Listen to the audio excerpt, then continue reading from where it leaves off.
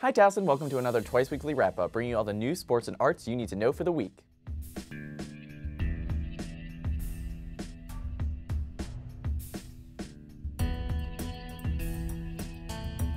For the first time in 17 years, men's basketball clinched their season with a winning record.